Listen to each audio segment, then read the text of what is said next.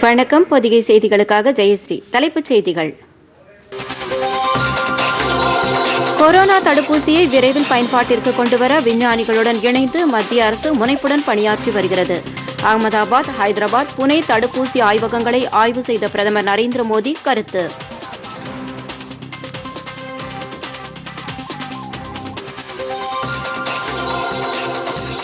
கடல்சார் பாதுகாப்பு ஒத்துழைப்பு குறித்து கொழும்பு முத்தரப்பு ஆலோசனைக் கூட்டம். தேசிய பாதுகாப்பு ஆலோசகர் அஜித் தோவல் பங்கேற்பு.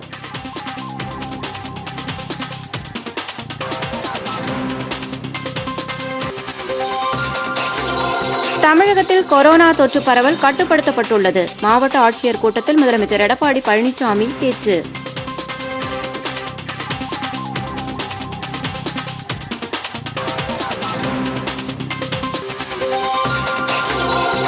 தமிழகத்தில் பள்ளி மாணவர்களுக்கான பாடத்திட்டத்தை குறைப்பது குறித்த அறிக்கை திங்கட்கிழமை முதலமைச்சரிடம் தாக்கல் செய்யப்படும். பள்ளி கல்வித்துறை அமைச்சர் செங்கோட்டையன்.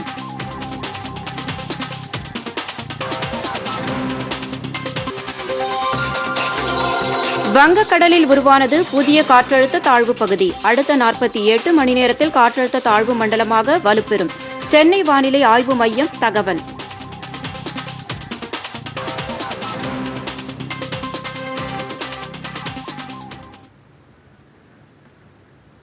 விரிவான செய்திகள். கொரோனா தடுப்பூசி தயாரிப்பு பணியில் ஈடுபட்டுள்ள இந்திய விஞ்ஞானிகளுக்கு பிரதமர் நரேந்திர மோடி பாராட்டு தெரிவித்துள்ளார். உலக நாடுகளை அச்சுறுத்தி வரும் கொரோனா தொற்றுக்கு எதிராக இந்தியா உட்பட பல நாடுகள் தடுப்பூசி தயாரிக்கும் பணியில் தீவிரமாக ஈடுபட்டுள்ளன. அகமதாபாத்தில் உள்ள ஜைடஸ் உயிரி தொழில்நுட்ப பூங்காவில் ஜைகோவ் டி தடுப்பூசி கண்டறியும் பணிகள் முடியும் தருவாயில் உள்ளதாக விஞ்ஞானிகள் தெரிவித்துள்ளனர். இந்நிலையில் பிரதமர் நரேந்திர மோடி இன்று அகமதாபாத் சென்று ஜைடஸ் நிறுவனத்தின் ஜைகோவ் டி தடுப்பூசி தயாரிக்கும் பணியில் ஏற்பட்டுள்ள முன்னேற்றம் குறித்து விஞ்ஞானிகளிடம் கேட்டறிந்தார்.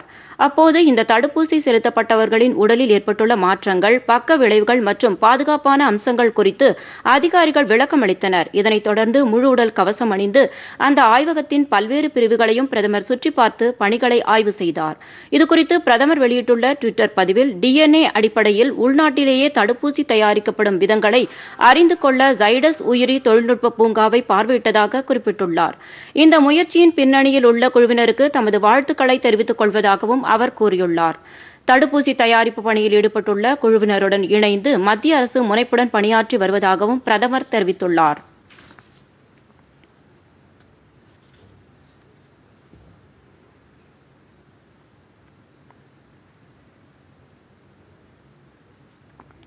அகமதாபாத்திலிருந்து ஹைதராபாத் சென்ற பிரதமர் அங்கு மத்திய அரசின் இந்திய மருத்துவ ஆராய்ச்சி கவுன்சிலுடன் இணைந்து பாரத் பயோடெக் நிறுவனத்தால் மேற்கொள்ளப்பட்டு வரும் கோவேக்சின் தடுப்பூசி தயாரிக்கும் பணிகளை ஆய்வு செய்தார்.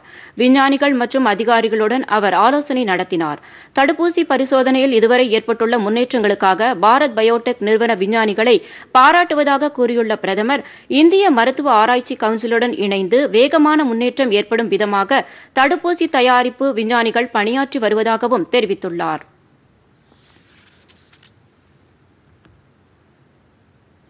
இதன்பின் புனே சென்ற பிரதமர் அங்குள்ள மத்திய அரசின் செரம் நிறுவனத்தில் இங்கிலாந்து நாட்டின் ஆக்ஸ்போர்ட் பல்கலைக்கழகமும் ஆஸ்ட்ரோஜெனேகா நிறுவனமும் இணைந்து உருவாக்கியுள்ள கோவிஷீல்டு என்ற தடுப்பூசி தயாரிக்கும் பணிகளை ஆய்வு செய்தார்.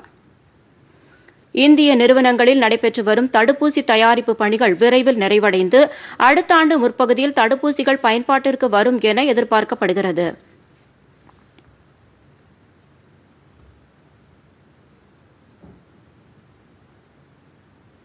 பிரிட்டன் பிரதமர் போரிஸ் ஜான்சனை பிரதமர் நரேந்திர மோடி தொலைபேசியில் தொடர்பு கொண்டு இருதரப்பு நல்லுறவு குறித்து ஆலோசனை நடத்தினார். போரிஸ் ஜான்சனை பிரதமர் நரேந்திர மோடி நேற்று தொலைபேசியில் தொடர்பு கொண்டு பேசினார். அப்போது கொரோனா பெருந்தொற்றால் ஏற்பட்டுள்ள சவால்கள் குறித்து இருவரும் ஆலோசனை நடத்தினர். தடுப்பு மருந்து தயாரிப்பு மற்றும் உற்பத்தியில் இரு நாடுகளும் இணைந்து செயல்படுவது குறித்து இரு தலைவர்களும் ஆய்வு செய்தனர். இது தொடர்பாக டுவிட்டரில் பதிவிட்டுள்ள பிரதமர் நரேந்திர மோடி அடுத்த பத்தாண்டுகளுக்கான இருதரப்பு நல்லுறவை மேம்படுத்துவது குறித்து போரிஸ் ஜான்சனுடன் சிறப்பான முறையில் ஆலோசனை நடத்தியதாக தெரிவித்துள்ளார். வர்த்தகம் முதலீடு பாதுகாப்பு ராணுவம் பருவநிலை மாற்றம் கொரோனாவை எதிர்கொள்வது உள்ளிட்ட அனைத்து துறைகளிலும் இருதரப்பு ஒத்துழைப்பை மேம்படுத்த ஒப்புக்கொண்டுள்ளதாக பிரதமர் தெரிவித்துள்ளார்.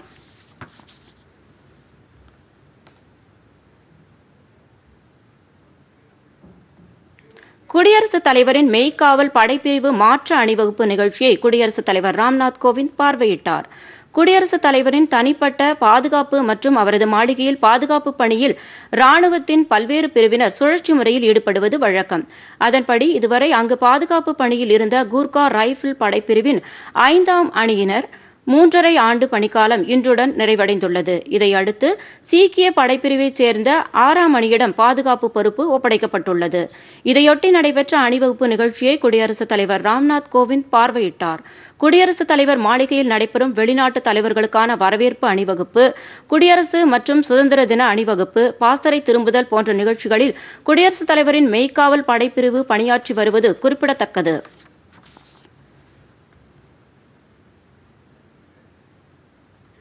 பிரதமர் நரேந்திர மோடி அகில இந்திய வானொலி மூலமாக தமது எண்ணங்களை மக்களுடன் பகிர்ந்து கொள்ளும் எழுபத்தி ஓராவது மனதின் குரல் நிகழ்ச்சி நாளை ஒலிபரப்பாகிறது. பிரதமரின் உரையை அகில இந்திய வானொலி மற்றும் தூர்தர்ஷன் நாளை காலை பதினோரு மணிக்கு நேரடி ஒலிபரப்பு செய்கிறது.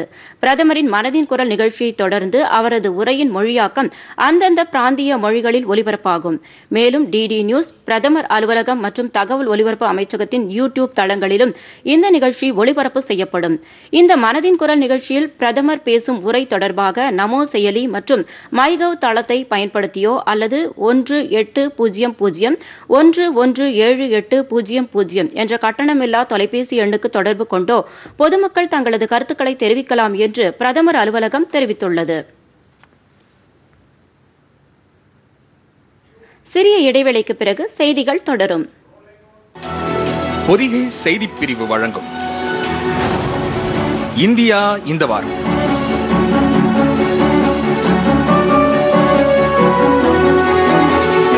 கடந்த ஏழு நாட்களில் நாட்டில் நடைபெற்ற அரசியல். பொருளாதாரம். சுற்றுச்சூழல். சமூகம். மற்றும் விளையாட்டு. பல்துறை செய்திகளின் சீரிய தொகுப்பு. சனிக்கிழமை தோறும் இரவு ஏழு முப்பது மணிக்கு. நமது பொதிகையில் இந்தியா இந்த வாரம். காணத் தவறாதீர்கள். செய்திகள் தொடர்கின்றன. கடல்சார் பாதுகாப்பு ஒத்துழைப்பு குறித்த முத்தரப்பு ஆலோசனைக் கூட்டம் இலங்கை தலைநகர் கொழும்புவில் இன்று தொடங்கியது. இந்த கூட்டத்தில் இந்தியா இலங்கை மாலத்தீவு நாடுகள் பங்கேற்றுள்ளன. இந்தியாவின் சார்பில் தேசிய பாதுகாப்பு ஆலோசகர் அஜித் தோவல் இலங்கை அரசின் சார்பில் அந்நாட்டு பாதுகாப்புத்துறை செயலாளர் கமல் குணரத்னே மாலத்தீவின் சார்பில் அந்நாட்டு பாதுகாப்புத்துறை அமைச்சர் மரியா தீதி ஆகியோர் பங்கேற்றுள்ள இந்த ஆலோசனைக் கூட்டத்தில் இந்திய பெருங்கடல் பிராந்தியத்தின் பாதுகாப்பை உறுதி செய்வதில் மூன்று நாடுகளும் ஒருங்கிணைந்து செயல்படுவது குறித்து விவாதிக்கப்படுவதாக கொழும்பு கொழும்புவில் உள்ள இந்திய தூதரகம் தெரிவித்துள்ளது.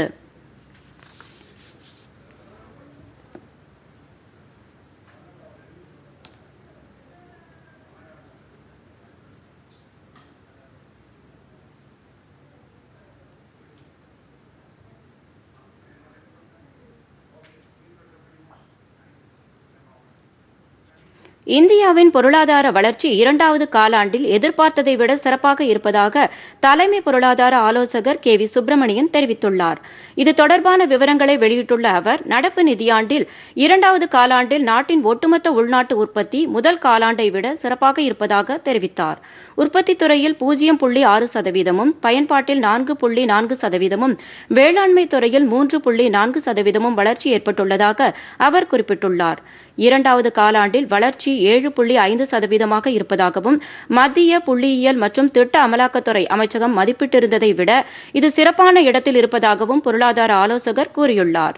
இதன் மூலம் விரிவான மீட்சிக்கான வாய்ப்புகள் ஏற்பட்டுள்ளதாகவும் அவர் குறிப்பிட்டுள்ளார்.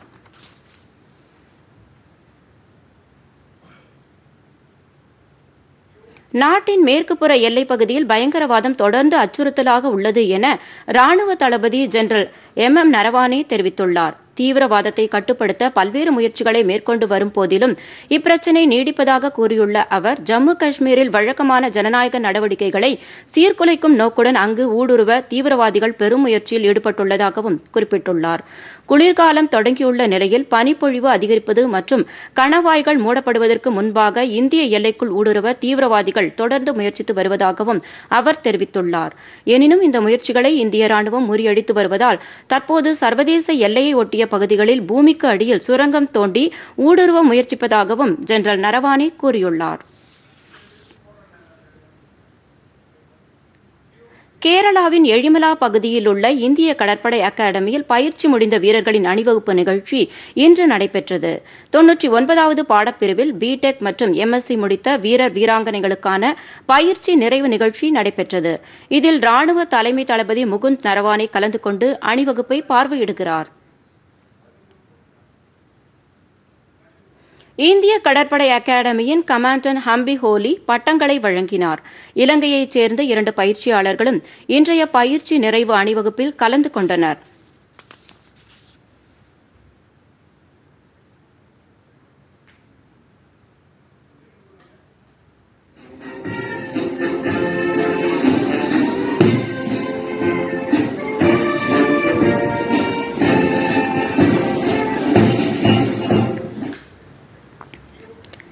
எளிய மக்களுக்கு சுகாதார சேவைகள் கிடைப்பதை உறுதி செய்ய மாநிலம் முழுவதும் அடுத்த மாதம் பதினைந்தாம் தேதிக்குள் இரண்டாயிரம் மினி கிளினிக்குகள் துவங்கப்படும் என முதலமைச்சர் எடப்பாடி பழனிசாமி தெரிவித்துள்ளார். கொரோனா தடுப்பு பணிகள் மற்றும் ஊரடங்கை நீட்டிப்பதா வேண்டாமா என்பது குறித்து முதலமைச்சர் மாவட்ட ஆட்சியாளர்களுடன் இன்று காலை ஆலோசனை நடத்தினார். தலைமைச் செயலகத்தில் காணொலி காட்சி வாயிலாக நடைபெற்ற இந்த ஆலோசனையில் துணை முதலமைச்சர் ஓ பன்னீர்செல்வம் மற்றும் மூத்த அமைச்சர்களும் தலைமை செயலாளர் சண்முகம் உள்ளிட்ட அதிகாரிகளும் கலந்து கொண்டனர். மாவட்ட ஆட்சியர்கள் அந்தந்த ஊர்களிலிருந்து காணொலி காட்சி வாயிலாக பங்கேற்றனர். கூட்டத்தில் பேசிய முதலமைச்சர் பிரதமர் நரேந்திர மோடி பாராட்டும் அளவுக்கு தமிழகத்தில் கொரோனா தடுப்பு நடவடிக்கைகள் சிறப்பாக மேற்கொள்ளப்பட்டு வருவதற்காக அமைச்சர்கள் மருத்துவர்கள் மற்றும் பல்வேறு துறை பணியாளர்களுக்கு நன்றி தெரிவித்தார். கொரோனா தடுப்பு பணிகள் குறித்து இதுவரை தாம் பனிரெண்டு முறையும் தலைமைச் செயலாளர் பதிமூன்று முறையும் மாவட்ட ஆட்சியர்களுடன் ஆலோசனை நடத்தியிருப்பதை முதலமைச்சர் சுட்டிக்காட்டினார். மேலும் தொற்று பாதிப்புக்கு ஆளானவர்களை விரைவாக கண்டறிந்து உரிய நேரத்தில் சிகிச்சை அளிக்கப்பட்டதன் விளைவாக மாநிலத்தில் தொற்று பரவல் வெகுவாக குறைக்கப்பட்டு தற்போது கட்டுப்பாட்டிற்குள் உள்ளதாக முதலமைச்சர் தெரிவித்தார். மேலும் தாம் ஏற்கனவே அறிவித்தபடி தமிழகம் முழுவதும் தலா ஒரு மருத்துவர் ஒரு செவிலியர் மற்றும் ஒரு உதவியாளரை கொண்ட மினி கிளினிக்குகள் டிசம்பர் பதினைந்தாம் தேதிக்குள் தொடங்கப்படும் என்றும் முதலமைச்சர் தெரிவித்தார்.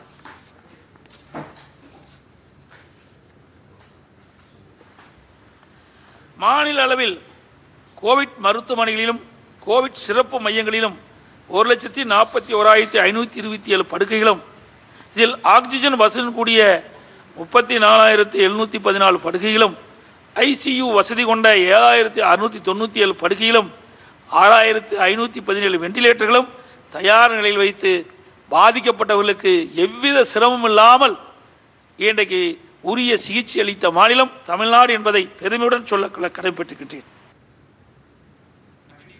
அரசு மேற்கொண்ட பல்வேறு விழிப்புணர்வு மற்றும் முன்னெச்சரிக்கை நடவடிக்கைகளையும் பட்டியலிட்ட முதலமைச்சர் சுமார் ஐந்து லட்சத்து இருபத்தி மூன்றாயிரம் காய்ச்சல் முகாம்கள் நடத்தப்பட்டதாகவும் கூறினார். இதன் காரணமாக தொற்று பாதிப்பிலிருந்து குணமடைந்தோர் எண்ணிக்கை அதிகரித்துள்ள அதே வேளையில் இறப்பு விகிதம் பெருமளவு குறைக்கப்பட்டிருப்பதாகவும் முதலமைச்சர் தெரிவித்தார்.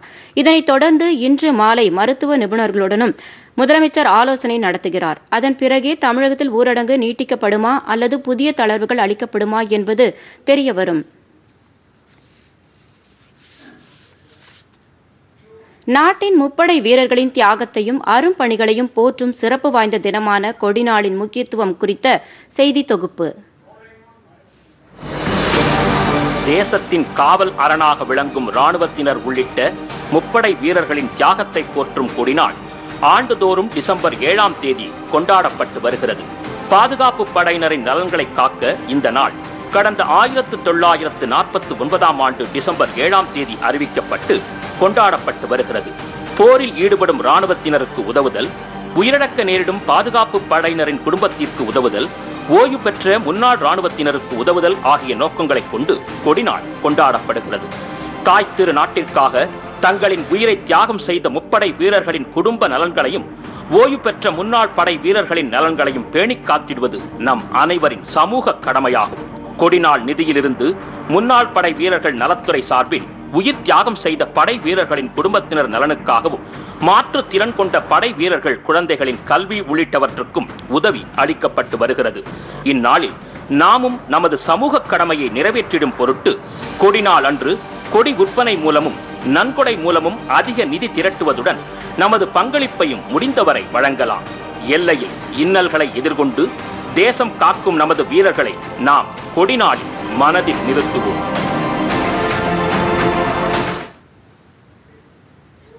தொடர்வது விரைவு செய்திகள்.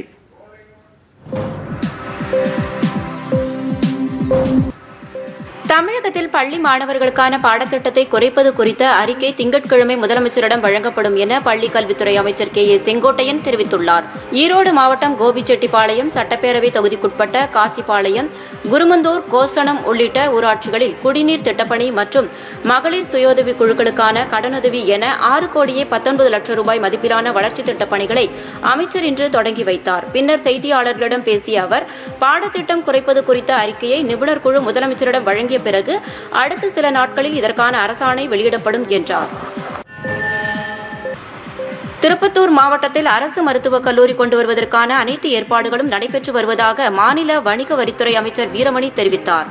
கடந்த ஆண்டு நவம்பர் இருபத்தி எட்டாம் தேதி முதலமைச்சரால் தொடங்கி வைக்கப்பட்ட திருப்பத்தூர் மாவட்டத்தில் இன்று ஓராண்டு முடிவடைந்த நிலையில் தமிழ் வளர்ச்சித்துறை அலுவலக திறப்பு விழா நடைபெற்றது. இதில் கலந்து கொண்ட அமைச்சர் புதிய அலுவலகத்தை திறந்து வைத்து நூல்களை வெளியிட அதனை மாவட்ட ஆட்சியர் சிவனருள் பெற்றுக்கொண்டார் பின்னர் பேசிய அமைச்சர் திருப்பத்தூர் நகராட்சியில் நூற்றி ஐந்து கோடி ரூபாய் மதிப்பில் பாதாள சாக்கடை திட்டம் முடிவடையும் நிலையில் உள்ளதாக தெரிவித்தார். நிவர் புயலில் சுவர் இடிந்து விழுந்து உயிரிழந்த விழுப்புரம் மாவட்டத்தைச் சேர்ந்த ராஜேஸ்வரியின் குடும்பத்திற்கு மாநில சட்டத்துறை அமைச்சர் சி வி சண்முகம் ஒரு லட்சம் ரூபாய் நிதியுதவி வழங்கினார். விழுப்புரம் அருகே கோனூர் கிராமத்திற்கு சென்ற அமைச்சர் உயிரிழந்த ராஜேஸ்வரியின் குடும்பத்தாருக்கு ஆறுதலை தெரிவித்து நிதியுதவி வழங்கினார். மேலும் பசுமை வீடு கட்டுவதற்கான ஆணையையும் அவர் வழங்கினார். சென்னை மாவட்டத்தை உள்ளடக்கிய பதினாறு சட்டப்பேரவை தொகுதிக்கான சிறப்பு சுருக்க முறை திருத்தம் தொடர்பான ஆலோசனைகள் ஏதும் இருந்தால் மாவட்ட தேர்தல் அலுவலரை அணுகலாம் என பெருநகர சென்னை மாநகராட்சி ஆணையர் கோ பிரகாஷ் தெரிவித்துள்ளார். கடந்த பதினாறாம் தேதி அன்று வரைவு வாக்காளர் பட்டியல் வெளியிடப்பட்டு பெயர்கள் உள்ளிட்ட விவரங்களை வாக்குச்சாவடி மையங்களில் சரிபார்த்து கொள்ளும் வகையில் பொதுமக்கள் பார்வைக்கு வைக்கப்பட்டது. மேலும் டிசம்பர் பனிரெண்டு பதிமூன்று ஆகிய தேதிகளில் நடைபெறும் சிறப்பு முகாம்களிலும் வாக்காளர்களின் பெயர் சேர்த்தல் நீக்கம் உள்ளிட்டவற்றை மேற்கொள்ளலாம் என தெரிவிக்கப்பட்டுள்ளது. விதிமுறையை மீறி இயக்கப்படும் வாகனங்களை கேமரா மூலம் கண்காணித்து உடனடியாக அபராதம் விதிக்கும் முறை சேலத்தில் டிசம்பர் ஒன்றாம் தேதி முதல் நடைமுறைப்படுத்தப்படுகிறது. சேலத்தில் போக்குவரத்தின் போது விதிகளை மீறும் வாகனங்களை கேமரா மூலம் கண்காணித்து வாகனத்தின் பதிவு எண்ணை படமாக பதிவு செய்து காவல்துறை கண்காணிப்புத்துறை தில்லி தேசிய தகவல் மையம் ஆகியவற்றில் தானியங்கி முறையில் பதிவாகிவிடும். இதன் மூலம் வாகன உரிமையாளரின் செல்போனுக்கு அபராத தொகை அனுப்பி வைத்து கட்டணம் வசூலிக்கப்படும் என தெரிவிக்கப்பட்டுள்ளது. ஆதி திராவிடர் நலத்துறையில் சமையலர் மற்றும் துப்புரவாளர் வேலைக்காக விண்ணப்பிக்க டிசம்பர் ஏழாம் தேதி வரை கால நீட்டிப்பு செய்யப்பட்டுள்ளதாக தமிழக அரசு தெரிவித்துள்ளது. இதுகுறித்து அரசு வெளியிட்டுள்ள செய்திக்குறிப்பில் சென்னை மாவட்ட ஆதி திராவிடர் மற்றும் பழங்குடியினர் நலத்துறையின் கீழ் இயங்கும் விடுதிகளுக்கு பதினைந்து சமையலர் துப்புரவு பணியிடங்களுக்கு தகுதியான நபர்களிடமிருந்து விண்ணப்பங்கள் வரவேற்பதாக கூறியுள்ளது. சென்னை மாவட்டத்தைச் சேர்ந்த பதினெட்டு வயது முதல் முப்பத்தி ஐந்து வயது உள்ளவர்கள் நேரடியாகவோ அஞ்சல் மூலமாகவோ ஆதிதிராவிட மற்றும் பழங்குடியின நல அலுவலகத்திற்கு விண்ணப்பிக்கலாம் என்று கூறப்பட்டுள்ளது. பயிர் காப்பீட்டு திட்டத்தின் கீழ் விவசாயிகள் பயிர் காப்பீட்டிற்கான பிரீமிய தொகையை செலுத்தி காப்பீடு செய்து கொள்ளலாம் என கோவை மாவட்ட ஆட்சியர் ராசாமணி தெரிவித்துள்ளார். மத்திய அரசின் பிரதமரின் பயிர் காப்பீட்டு திட்டத்தின்படி தற்போது விவசாயிகள் ராபி பருவத்தில் சாகுபடி செய்ய உள்ள சோளம் மக்காச்சோளம் உளுந்து உள்ளிட்ட பயிர்களுக்கான காப்பீடு செய்து கொள்ளலாம் என்றும் இதுகுறித்த கூடுதல் விவரங்களை அந்தந்த வட்டார வேளாண் விரிவாக்க மைய அலுவலகங்களை தொடர்பு கொண்டு விவசாயிகள் பெற்றுக்கொள்ளலாம் என்றும் ஆட்சியர் தெரிவித்துள்ளார். ஜம்மு காஷ்மீரில் முதன்முறையாக உள்ளாட்சி அமைப்புகளுக்கான தேர்தல் இன்று நடைபெற்றது. மாவட்ட வளர்ச்சி கவுன்சிலுக்கான முதல்கட்ட தேர்தலில் மொத்தம் உள்ள இருநூற்றி எண்பது இடங்களில் நாற்பத்தி மூன்று இடங்களுக்கு இன்று வாக்குப்பதிவு நடைபெற்றது. இன்று நண்பகல் நிலவரப்படி குக்குவாராவில் பதிமூன்று சதவீதமும் பாராமுல்லாவில் பதினேழு சதவீதமும் வந்திப்பூராவில் பதினேழு சதவீதமும் ஜம்முவில் இருபத்தி நான்கு சதவீதமும் பூஞ்ச் பகுதியில் முப்பத்தி இரண்டு சதவீதமும் வாக்குகள் பதிவாகியுள்ளதாக தேர்தல் ஆணையம் தெரிவித்துள்ளது. திருக்கார்த்திகை தீபத் திருவிழா நாளை கொண்டாடப்பட இருப்பதையொட்டி கன்னியாகுமரி மாவட்டம் நாகர்கோவில் வடசேரி பகுதியில் நூறாண்டு பழமை வாய்ந்த சந்தையில் மண் சட்டி விளக்குகள் கொழுக்கட்டை செய்வதற்கு தேவையான திரளி இலைகள் விற்பனைக்காக குவித்து வைக்கப்பட்டுள்ளன. இதனை பொதுமக்கள் ஆர்வத்துடன் வாங்கிச் செல்கின்றனர்.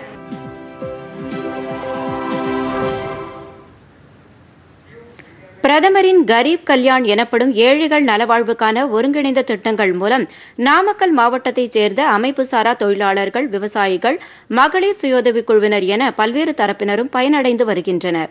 கொரோனா ஊரடங்கு காலத்தில் அரசு செயல்படுத்திய இந்த நலத்திட்ட உதவிகள் தங்களது வாழ்வாதாரத்தை பாதுகாக்க பெரிதும் உதவியதாக பயனாளிகள் தெரிவித்துள்ளனர்.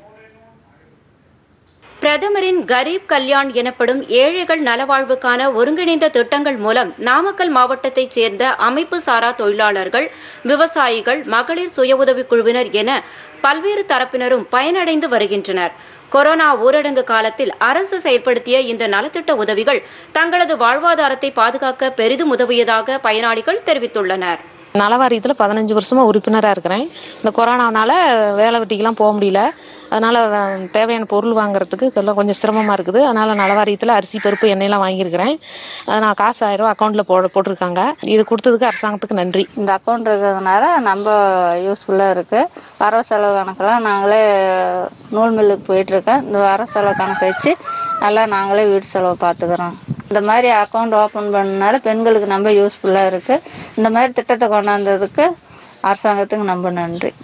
கொரோனா ஊரடங்கு காலத்தில் வேலை வாய்ப்பு மற்றும் வாழ்வாதாரத்தை இழந்த சமுதாயத்தின் பல்வேறு தரப்பையும் சேர்ந்த ஏழை எளியோருக்கு உதவிடும் வகையில் பிரதமரின் கரீப் கல்யாண் திட்டத்தை மத்திய அரசு செயல்படுத்தி வருகிறது. இத்திட்டத்தின் கீழ் உணவுப் பொருட்கள் சமையல் எரிவாயு போன்றவை இலவசமாக வழங்கப்பட்டதுடன் நிதி உதவிகளும் வழங்கப்பட்டு வருகின்றன.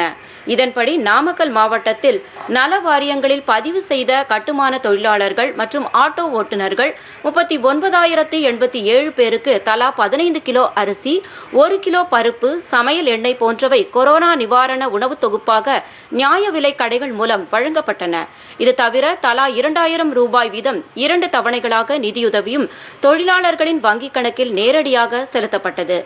அதேபோன்று அமைப்பு சாரா தொழிலாளர்களுக்கும் தலா ஆயிரம் ரூபாய் வீதம் நாற்பத்தி ஒன்பதாயிரத்து இருநூற்றி நாற்பத்தி ஒன்பது பேருக்கு நிவாரண உதவி வழங்கப்பட்டுள்ளது. பிஎம் கிசான் திட்டம் நம்ம பிரதமர் மந்திரம் மூலயமா நம்ம வாங்கிட்டு இருக்கிறோம். இப்போ எனக்கு வந்து அஞ்சு தவணையாக வந்துருச்சுங்க. இந்த அமௌண்ட் வந்து பார்த்தீங்கன்னா வேளாண் இடுபொருள் வாங்குறதுக்கு ரொம்ப உதவிகரமாக இருந்துச்சு. இப்போ புதுசாக கடன் உதவி திட்டங்கள் வந்து பிரதமர் கொ- கொடுக்குறேன்னு சொல்லியிருக்காங்க. ஸோ இந்த பிஎம் கிசான் மூலிமா நம்மளுக்கு கடன் உதவி கொடுக்கும்போது பார்த்தீங்கன்னா மதிப்பு கூட்டு பொருளுக்கு ஸ்டோரேஜ் கூடன் கட்டுறதுக்கு ஸோ இது மாதிரி வட்டி தள்ளுபடி மூணு பர்சன்ட் வட்டி தள்ளுபடி பண்ணுறோன்னு சொல்லியிருக்காரு. ஸோ அதனால் இது வந்து பார்த்திங்கன்னா நம்ம மாதிரி இருக்கிற விவசாயிங்களுக்கு மிகவும் பயனுதவியாக இருக்கும். நடுத்தர மற்றும் பெரிய விவசாயிகளுக்கும் நான்கு மாதங்களுக்கு ஒருமுறை தலா இரண்டாயிரம் ரூபாய் வீதம் ஆண்டுக்கு ஆறாயிரம் ரூபாய் வழங்கப்படுகிறது. ஜன்தன் வங்கி கணக்கு வைத்துள்ள பெண்களுக்கும் தலா ஐநூறு ரூபாய் வீதம் நிவாரண உதவி வழங்கப்பட்டுள்ளது. இந்த உதவித்தொகை தங்களுக்கு பெரிதும் உதவிகரமாக இருப்பதாகவும் இதற்காக பிரதமர் நரேந்திர மோடிக்கு மத்திய அரசுக்கு பயனாளிகள் நன்றி தெரிவித்துள்ளனர். கொரோனா தொற்றிலிருந்து நம்மை பாதுகாத்துக் கொள்ள சரியான முறையில் முகக்கவசம் அணிவது அவசியம். இது குறித்த நாடு தழுவிய விழிப்புணர்வு இயக்கத்தை டிடி நியூஸ் செய்தி அலைவரிசை மேற்கொண்டு வருகிறது. கொரோனா தொற்றின் தாக்கம் ஒட்டுமொத்த மனித குலத்தையும் பாதித்து வருகிறது. முகக்கவசம் அணிவது கொரோனா தொற்று பரவலை தடுப்பதில் நல்ல பலனை அளித்து வருவதாக உலக சுகாதார அமைப்பு தெரிவித்துள்ளது. மூக்கு வாய் போன்ற பகுதிகளை முகக்கவசத்தை கொண்டு நன்கு மூடுவதன் மூலம் கொரோனா பரவுவதை தடுக்க முடியும் बिना मास्क या फेस कवर के घर से बाहर निकलने की अभी कल्पना करना भी सही नहीं है எனவே தூர்தர்ஷனின் டிடி நியூஸ் செய்தி அலைவரிசை மாஸ்கப் இந்தியா இயக்கத்துடன் இணைந்து முகக்கவசத்தின் அவசியம் குறித்தும் முகக்கவசம் மூலம் மூக்கு மற்றும் வாய்ப்பகுதிகளை நன்கு மூடுவதன் அவசியம் குறித்தும் விழிப்புணர்வு பிரச்சாரம் மேற்கொண்டு வருகிறது. மாஸ்கப் இந்தியா கவசம் அணிக இந்தியா கொரோனாவை ஒழிப்போம் முகக்கவசத்தை சரியான முறையில் அணிவோம் என நாம் அனைவரும் முழங்குவோம். மாஸ்கப் இந்தியா கவசம் அணிக இந்தியா. தொடர்வது உலக செய்திகள்.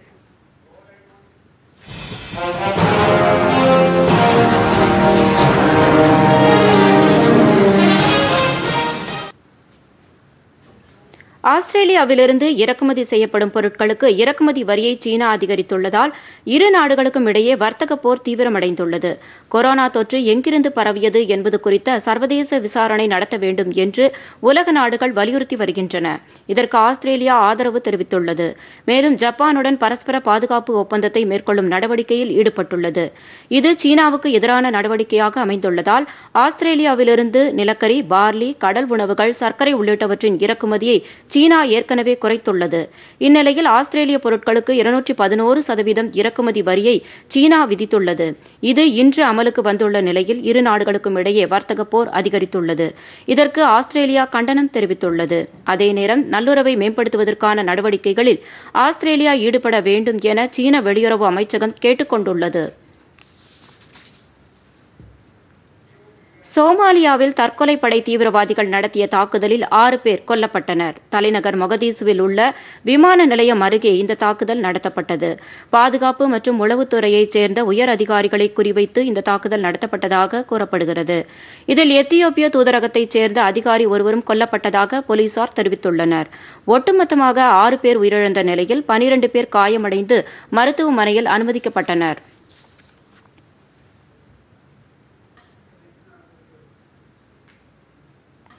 அடுத்து வருவது விளையாட்டுச் செய்திகள்.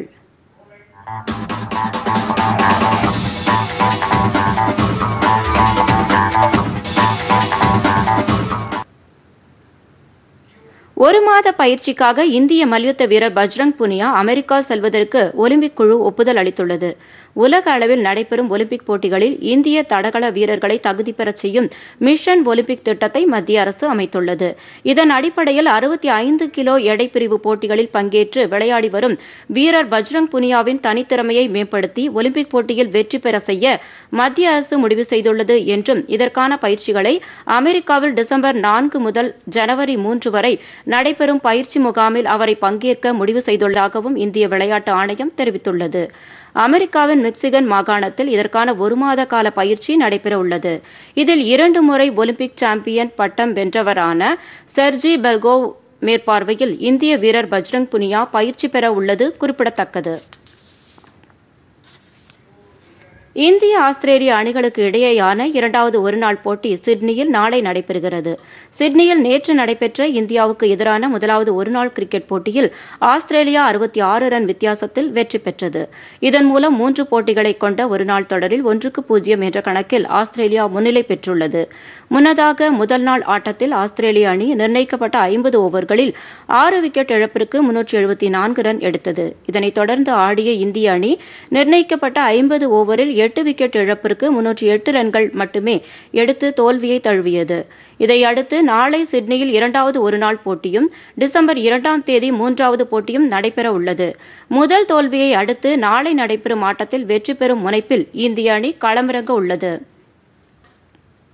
முதலாவது போட்டியில் இந்திய அணியினர் தாமதமாக பந்து வீசியதை அடுத்து இந்திய வீரர்களுக்கு ஊதியத்தில் இருபது சதவீதத்தை பிடித்தம் செய்ய ஐசிசி உத்தரவிட்டுள்ளது. தொடர்வது வானிலை.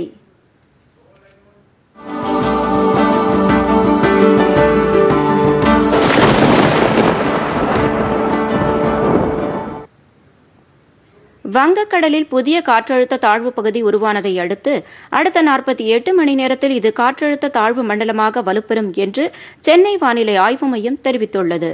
தென்கிழக்கு வங்கக்கடலில் உருவாகியுள்ள இந்த காற்றழுத்த தாழ்வு பகுதி காரணமாக தென் தமிழக கடலோர பகுதிகளில் ஒரு சில இடங்களில் லேசானது முதல் மிதமான மழை பெய்ய வாய்ப்புள்ளதாக அம்மையம் வெளியிட்டுள்ள செய்திக்குறிப்பில் தெரிவித்துள்ளது.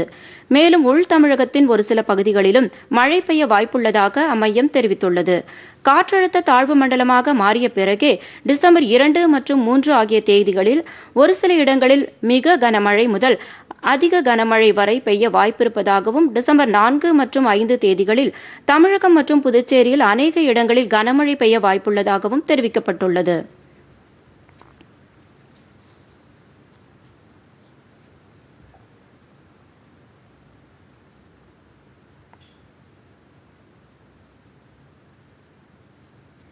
சென்னையை பொறுத்தவரை நகரின் ஒரு சில இடங்களில் வானம் மேகமூட்டத்துடன் காணப்படும் என்றும் அதிகபட்ச வெப்பநிலை முப்பது டிகிரி செல்சியஸ் ஆகவும் குறைந்தபட்ச வெப்பநிலை இருபத்தி இரண்டு டிகிரி செல்சியஸ் ஆகும் பதிவாகும் என அம்மையம் தெரிவித்துள்ளது. இதனிடையே வடகிழக்கு பருவமழை காரணமாக ஈரோடு மாவட்டம் கொடுமுடியில் நேற்றிரவு முழுவதும் கனமழை கொட்டி தீர்த்தது. இதுவரை கொடுமுடியில் இல்லாத அளவிற்கு அதிகபட்சமாக முப்பத்தி நான்கு சென்டிமீட்டர் மழை பதிவாகியுள்ளது. தொடர் மழை காரணமாக வெள்ளம் சூழ்ந்த பகுதியில் மாவட்ட வருவாய் அலுவலர் கவிதா நேரில் சென்று பார்வையிட்டு உரிய நடவடிக்கை மேற்கொண்டார். மீண்டும் தலைப்புச் செய்திகள். கொரோனா தடுப்பூசியை விரைவில் பயன்பாட்டிற்கு கொண்டுவர விஞ்ஞானிகளுடன் இணைந்து மத்திய அரசு முனைப்புடன் பணியாற்றி வருகிறது. அகமதாபாத் ஹைதராபாத் புனே தடுப்பூசி ஆய்வகங்களை ஆய்வு செய்த பிரதமர் நரேந்திர மோடி கருத்து.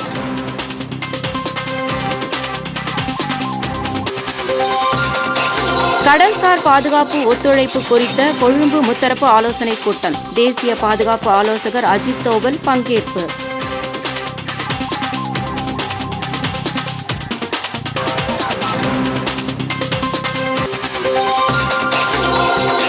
தமிழகத்தில் கொரோனா தொற்று பரவல் கட்டுப்படுத்தப்பட்டுள்ளது. மாவட்ட ஆட்சியர் கூட்டத்தில் முதலமைச்சர் எடப்பாடி பழனிசாமி பேச்சு.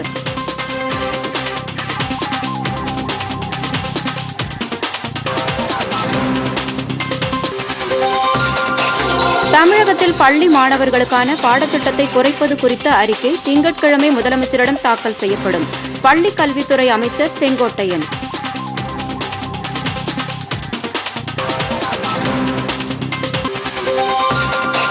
வங்கக்கடலில் உருவானது புதிய காற்றழுத்த தாழ்வு பகுதி. அடுத்த நாற்பத்தி எட்டு மணி நேரத்தில் காற்றழுத்த தாழ்வு மண்டலமாக வலுப்பெறும். சென்னை வானிலை ஆய்வு மையம் தகவல்.